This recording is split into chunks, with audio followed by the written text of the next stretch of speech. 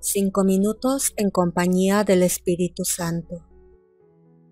Meditaciones de Monseñor Víctor Manuel Fernández. En el nombre del Padre, y del Hijo, y del Espíritu Santo. Amén.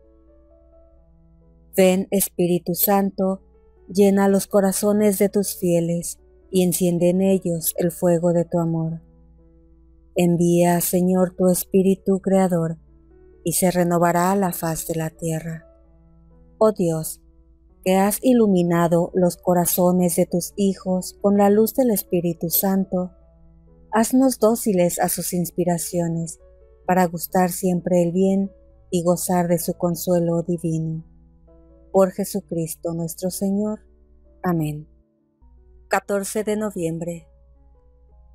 Cuando nos descuidamos, comenzamos a fabricar alguna máscara para evitar los cambios más profundos o porque no nos atrevemos a ser nosotros mismos. ¿Cuáles son las posibles máscaras que tenemos que entregar al Espíritu Santo para que Él las destruya?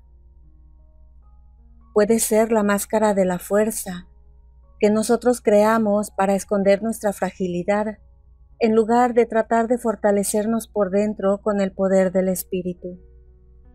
Esta máscara nos lleva a mostrarnos agresivos, rebeldes, autoritarios, ambiciosos. Pero en realidad, de esa manera solo estamos ocultando nuestros miedos e inseguridades que siguen haciéndonos daño por dentro. Otra máscara puede ser la de la bondad, porque nos gusta que digan que somos buenos y humildes. No toleramos que piensen que somos egoístas u orgullosos.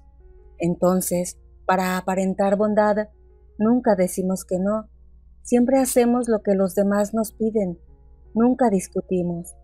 Pero en el fondo del corazón sufrimos una gran violencia, porque todo eso no es auténtico. En cambio, el Espíritu Santo nos fortalece para que nos atrevamos a ser respetuosos y amables, pero auténticos y sinceros, sin pretender dar más de lo que podemos ni esconder nuestras verdaderas convicciones. Otra máscara muy común es la de la serenidad, como si fuéramos personas imperturbables, que no nos molestamos ni nos enojamos con nada, pero la procesión va por dentro, y esa ira reprimida termina quemándonos por dentro y enfermándonos. El Espíritu Santo nos enseña a expresar lo que sentimos sin agredir a los demás ni quejarnos permanentemente, pero sin la vergüenza de manifestar lo que llevamos dentro. Oración. Respira en mí, oh Santo Espíritu, para que mis pensamientos puedan ser santos. Actúa en mí, oh Espíritu Santo, para que mi trabajo también pueda ser santo. Atrae mi corazón, oh Espíritu Santo, para que solo ame lo que es santo.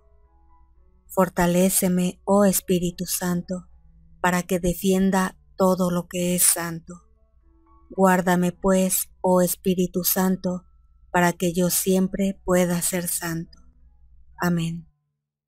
En el nombre del Padre, y del Hijo, y del Espíritu Santo. Amén.